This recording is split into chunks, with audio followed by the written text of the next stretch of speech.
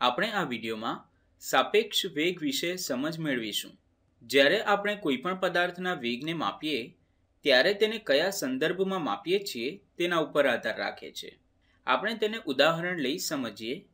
ધારો કે તમે કોઈ ગ્રાઉન્ડમાં ઊભા છો અને આજુબાજુની હરિયાળીની મજા માણી રહ્યા છો.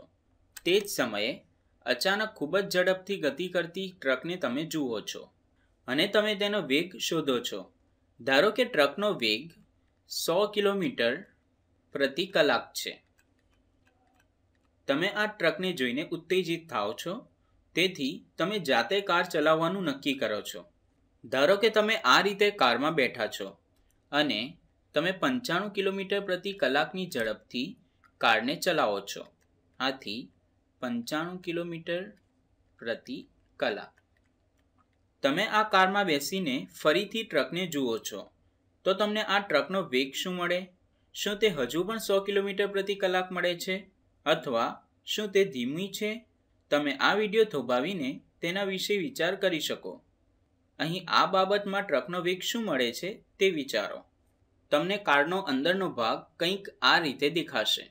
અથવા તમે કારની સીટ અને બારી તથા તે બહાર ટ્રકને જોઈ શકો. તમે એક વાત નોંધશો કે જ્યારે તમે કારમાં હશો ત્યારે આ કાર ગતિ કરતી લાગશે નહીં અથવા હલતી દેખાશે નહીં. જો કારમાં કોઈ પેસેન્જર પણ બેઠા હોય, તો તેઓ ત્યાં જ થોભેલા હશે. આના કારણે આપણે કહી શકીએ કે તમારા સંદર્ભમાં કારની ઝડપ અથવા કારનો વેગ ઝીરો છે.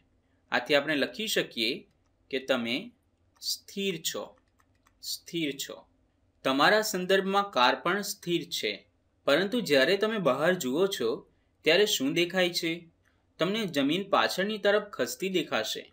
એટલે કે કંઈક આ રીતે અવાજ આવશે, ઝૂ ઝૂ ઝૂ.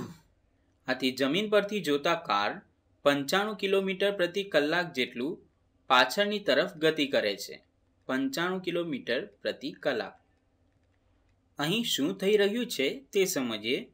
અહીં ટ્રક સો કિલોમીટર પ્રતિ કલાકની ઝડપે જમીન પર આગળની તરફ મુસાફરી કરે છે. પરંતુ જમીન પંચાણું કિલોમીટર પ્રતિ કલાકે પાછળની બાજુ જાય છે. આ કન્વેયર બેલ્ટની જેમ છે, જે ખૂબ ઝડપથી પાછળની બાજુ જાય છે અને અમુક બાળકો તેના પર ભાગે છે તેવું લાગે છે. આના કારણે બાળકો આગળની તરફ ભાગવામાં મુશ્કેલી અનુભવે છે. ધારો કે આ કન્વેયર બેલ્ટ છે, જે ખૂબ ઝડપથી પાછળની બાજુ જાય છે અને અમુક બાળકો તેના ઉપર ભાગે છે. અહીં આના કારણે બાળકો આગળની તરફ ભાગવામાં મુશ્કેલી અનુભવે છે. તે જ રીતે, આ ટ્રક આગળની તરફ ગતિ કરવા માટે મુશ્કેલી અનુભવે છે, કારણ કે જમીન સતત પાછળ ગતિ કરી રહી છે. એક કલાકમાં ટ્રકે આગળની તરફ કેટલી ગતિ કરી હશે? આપણે જોઈ શકીએ કે એક કલાક બાદ ટ્રક જમીન પર સો કિલોમીટર જેટલી ગતિ કરી હશે.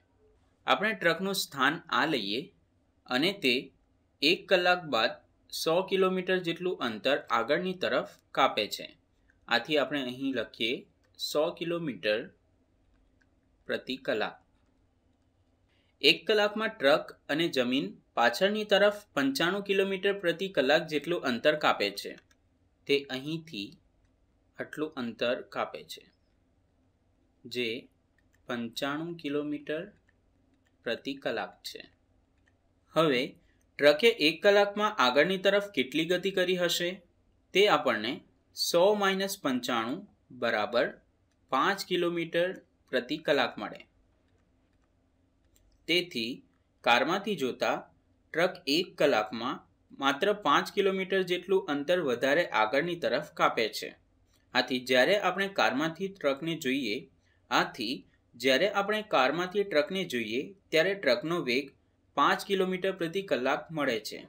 આપણે આને ટૂંકમાં સમજીએ.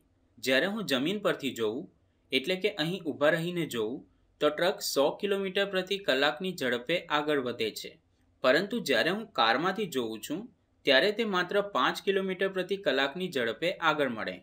આથી જ્યારે આપણે ટ્રકનો વેગ માપવો હોય અથવા શોધવો હોય, ત્યારે આપણે ક્યાંથી તેને માપીએ છીએ અથવા શોધીએ છીએ તેના ઉપર આધાર રાખે છે. આ રીતે સાપેક્ષ વેગ શોધી શકાય. લોકો જ્યારે સાપેક્ષ વેગની વાત કરતા હોય, ત્યારે તેઓ સંદર્ભ ફ્રેમ શબ્દનો ઉપયોગ કરે છે. તેઓ જમીન પરથી કોઈ વસ્તુ સો કિલોમીટર પ્રતિ કલાકે ગતિ કરતી હોય, તેમ કહેવાના બદલે, તેઓ ટ્રકના વેગને શોધવા માટે જમીનને સંદર્ભ ફ્રેમ લે છે. એટલે કે, જમીન, જમીનના સંદર્ભે. આથી આપણે કહી શકીએ કે જમીનને સંદર્ભ ફ્રેમ તરીકે લેતા ટ્રકનો વેગ સો કિલોમીટર પ્રતિ કલાક મળે છે. તે જ રીતે કારમાંથી જોતા ટ્રકનો વેગ પાંચ કિલોમીટર પ્રતિ કલાક મળે છે તેમ કહેવાના બદલે તેઓ કારને સંદર્ભ ફ્રેમ તરીકે લે છે. આથી અહીં કાર સંદર્ભ ફ્રેમ છે. હું તમને આ બાબત વીડિયો વડે સમજાવું. અત્યારે હું કારમાં બેસીને બહાર જોઉં છું. હું મારી કારને ગતિ કરતી જોઈ શકતો નથી, પરંતુ જમીન પાછળની બાજુ ઝડપથી ગતિ કરે છે તે જોઈ શકું છું. અહીં ટ્રક જમીનના સાપેક્ષે ખૂબ ઝડપથી ગતિ કરે છે. પરંતુ મારા સાપેક્ષે તેને આગળની તરફ જવા માટે મુશ્કેલી થાય છે. તે ખૂબ ધીમી દેખાય છે. આથી તમે આના મદદથી સાપેક્ષ વેગ સમજી શકો છો.